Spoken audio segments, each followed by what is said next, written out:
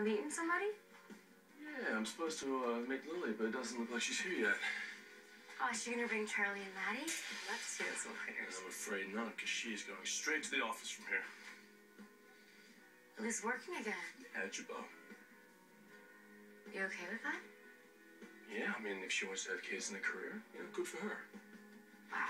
Well, you guys must be crazy busy. You know what? Sometimes it's like we're on a marathon, you know, but we have a pact, which is no matter how crazy it gets, we'll always find time for each other. That's so sweet. Unfortunately, though, today it's just coffees. But I still think it's romantic. Lily's lucky to have you. No, I'm lucky to have her.